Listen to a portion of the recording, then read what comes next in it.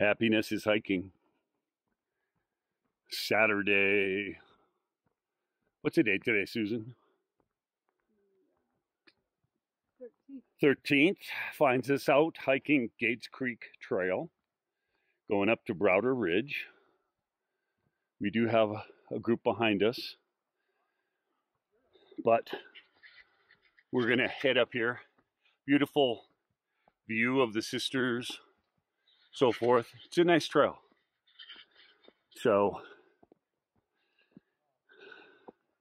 come with. Let's go together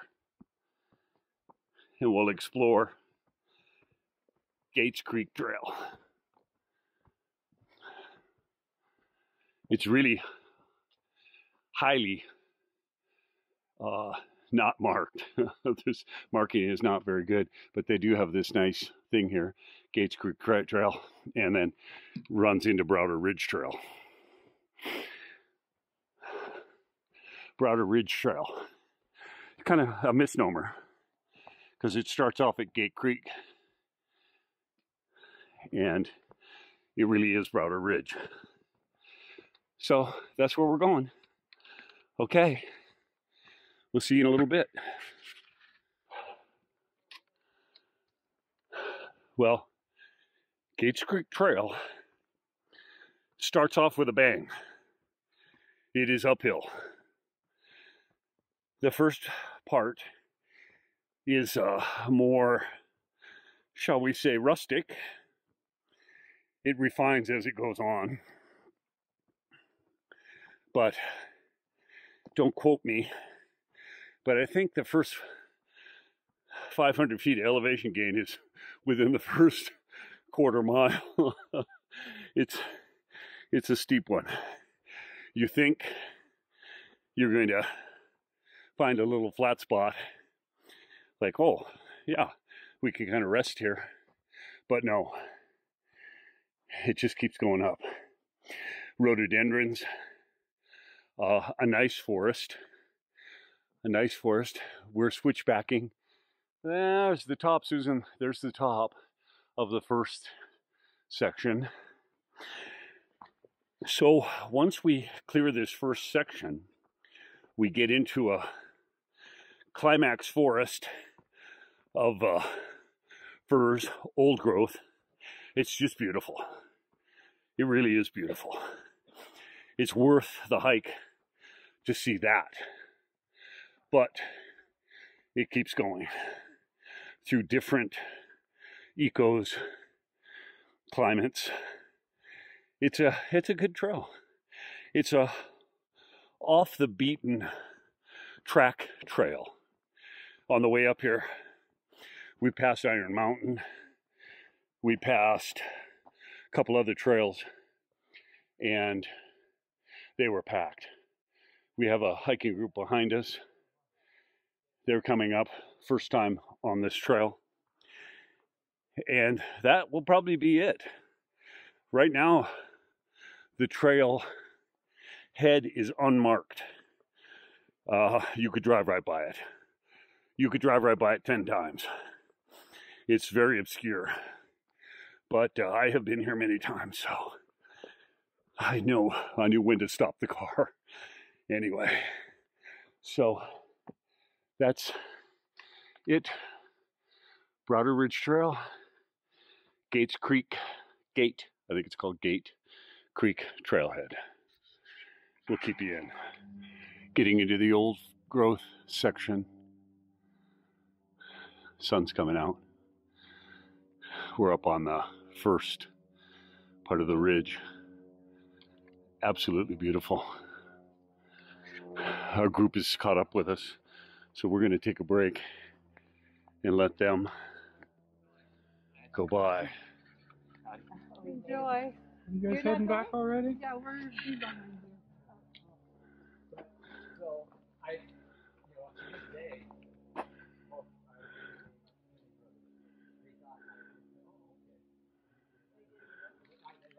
So again, the camera just won't get it. But believe me, this tree is at least eight feet, if not nine feet in diameter.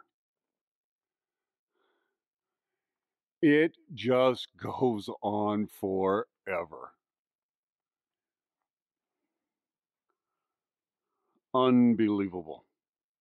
And you know, the interesting thing is that we're on a ridge, and old growth on ridges is is kind of rare. Most old growth will be down in valleys that are protected from the wind.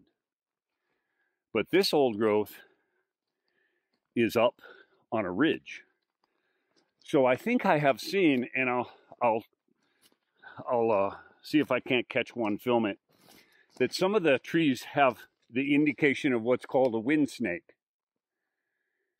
And a wind shake is when the tree is twisted torsionally from the wind and the grain on the interior of the tree separates. It splits longitudinally. So it develops what they call a wind shake. And when they're cutting the tree into boards, the boards will just fall apart along the line of the wind shake because it's a separation of the growth rings.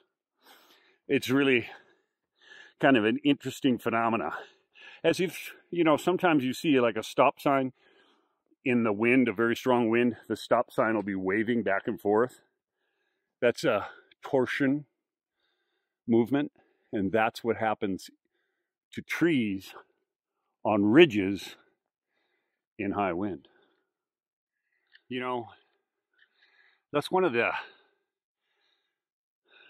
I, I don't want to say negative, but one of the things about uh, using a camera to try and capture the majesty of a place is it just doesn't work. it just does not work. Uh, obviously, you'll be watching this, and I'm going to tell you that this is just amazing. The trees just seem to go on forever. And you can't tell that with with uh, a video. You know, the trail to you right in front of me looks probably flat. It's not flat. it's not like really steep, but it's most certainly not flat. And the trees that you're seeing, these old growth fir, are diameter of six, seven feet and height. Well, I don't know. I can hardly see the top. I can't hardly bend over far enough to to see the top. So that's that's one of the things. So, you know, in a sense, work with me. Understand that I'm trying my best to bring this to you, but I'm going to ever fail. Forever fail. Because it's just not possible. You really have to be here and smell the forest and feel the sun and the shade The one thing we can capture is how quiet it is. It's very quiet. Just a great hike on a little known trail, Browder Ridge. Browder Ridge has some amazing trees. Old growth fir, they just seem to go on forever. Skyscrapers, cloud scrapers.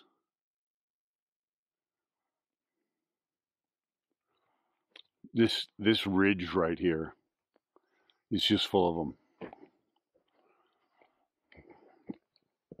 When the trees start to get old and the space between them grows, it's really kind of cool looking. Look at this tree over here. I mean, look at that tree. And then its a neighbor. Just immense trees. Have been here for a long time. Sentinels marking this place.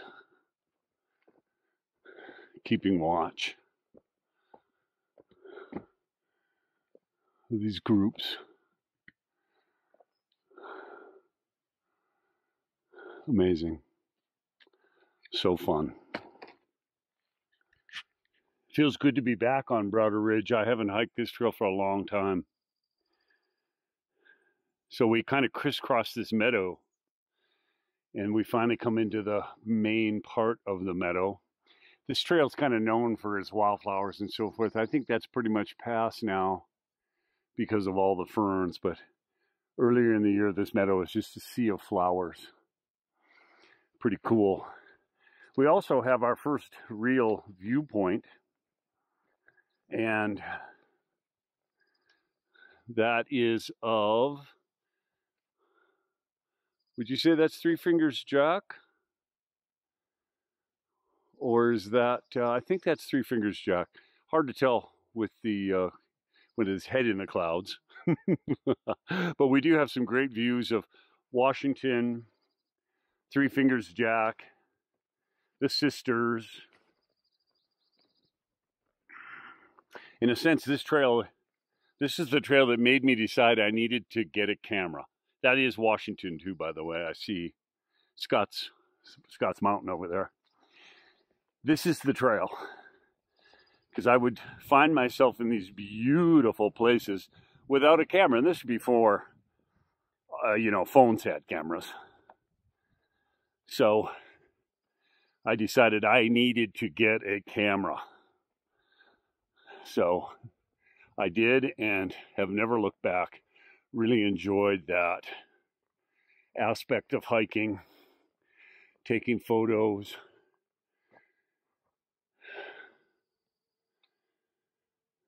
Sharing, all good stuff.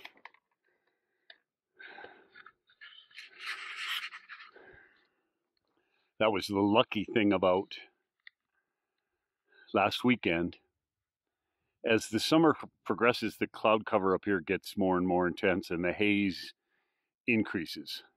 So Jefferson is, you know, total almost totally obscured. That was Three Fingers Jack. The top we couldn't we he was we weren't able to see if he was giving us the finger, so we didn't know it was him. That's Mount Washington behind that tree. And then of course the sisters who are just totally obscured by clouds we were up there last weekend and how lucky we were because we didn't have any clouds up there. It was so beautiful the whole time we were up there. So Browder Ridge is the first place that I hiked to that actually had a panoramic view like this. And it was at this very place that I decided I needed a camera. Because I stood here and said, oh my gosh, I can't believe how beautiful this is. And I have no way of recording it to bring it in home. So this is where it, that happened. And in a sense, it led up to this moment that I'm here with you, videoing this experience. It all was kind of a progression, and here we are together.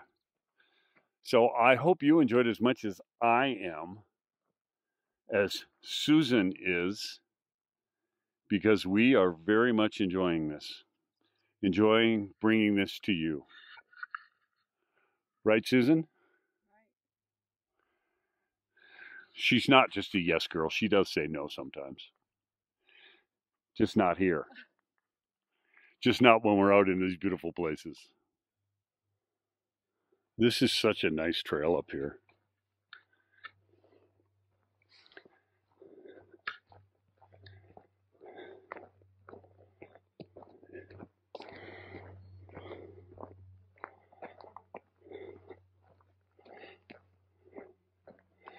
There really are a lot of wildflowers up here right now. Yeah, I saw. I thought I saw wild roses. Yeah, here's a wild rose. Look at these white flowers. I don't know what they are, but of course, bear grass.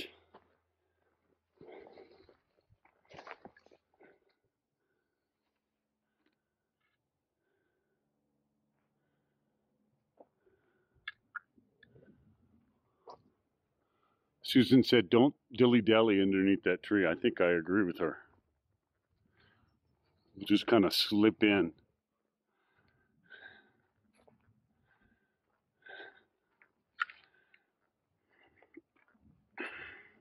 Beautiful breeze here right now. And I mean, really, that's one of the great pleasures on a sunny, warm day to walk in an area that is shaded and has a nice breeze. I mean, that's the stuff dreams are made out of.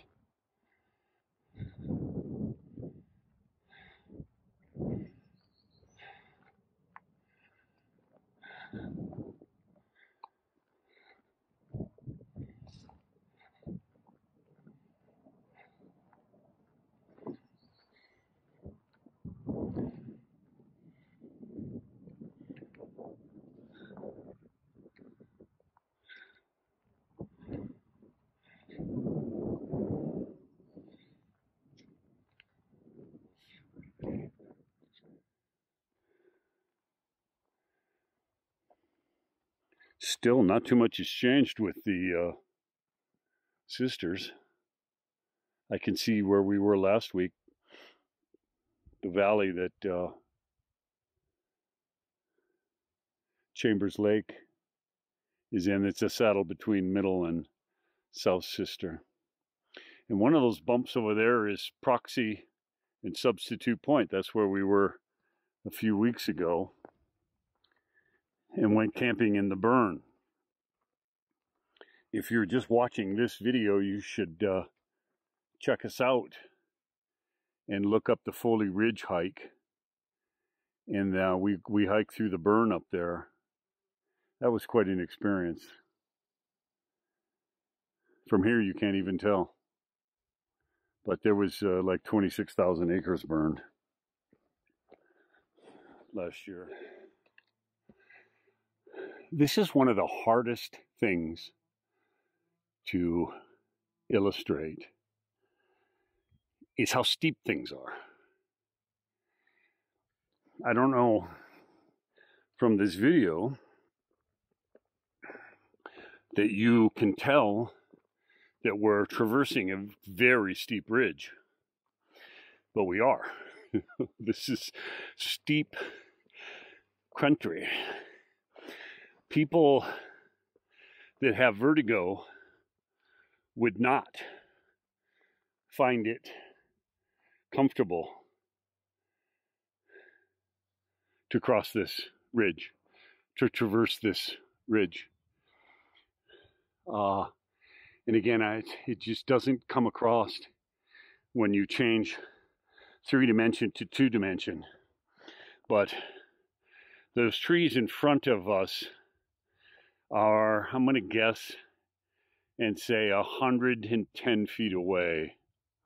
And we are looking probably at 50 feet of tree from the base to, you know, level across. So in 100 feet, we're, we're at about 50 feet or so, maybe 60. So it's, it's dropping quite rapidly quite rapidly. There's the sisters, and uh, we can see the uh, husband, and we can see, we probably could see Substitute Point here at some point, which is where we went camping a few weeks back. Good times. Really good times. But I'm going to try to illustrate or at least tell you that this is steep country.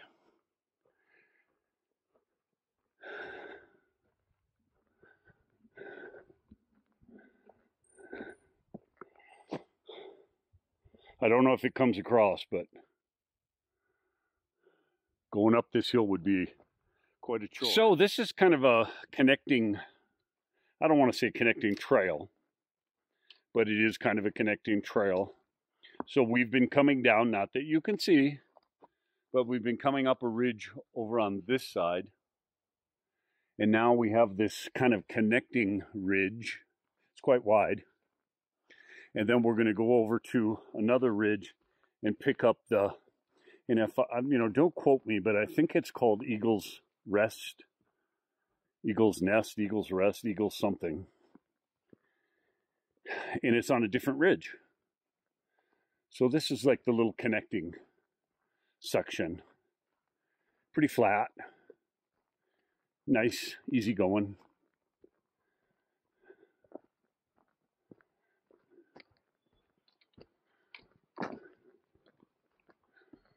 I was telling Susan last time I came through here, there's three feet of snow. I couldn't tell where the trail was. And I had to just cross country up to the top. It's a wonder I made it. Huh. See, they're doing trail maintenance here. There's not a lot of signage on this trail. I mean, so far zero. But somebody has come out and cut to uh, clear the trail, which is interesting and nice and good. And we love it because we love hiking.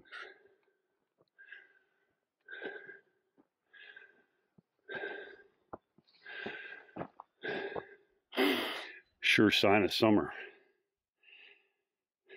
Bear grass in bloom. I think it's so cool when you come across a trail that has bear grass in bloom.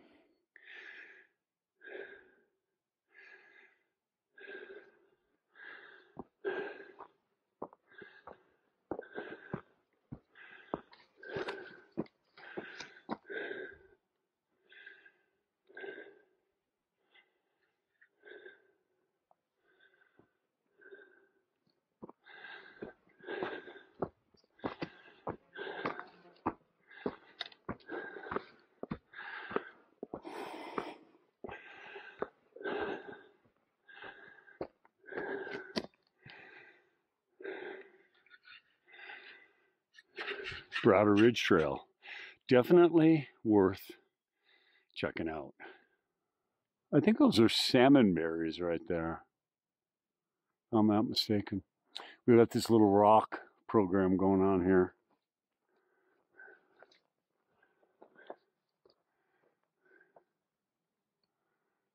It's pretty cool. The trail now has come along and we're on the other ridge. We've made our little connecting.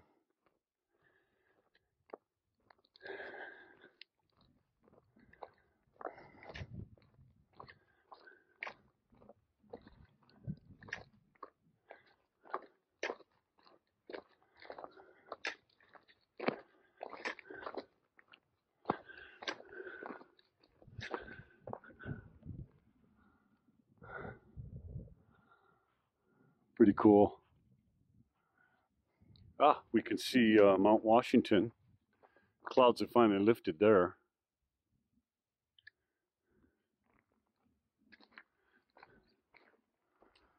That's the ridge we hiked along over on that side. Sisters are still obscured in uh, clouds. And again, I know you, I don't know if you can tell, but this is really steep country. You wouldn't want to have to go up there.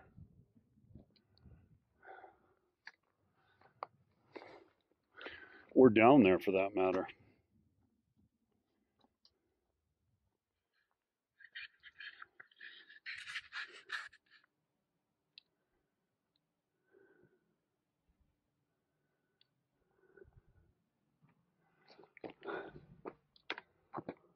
So we push for the top?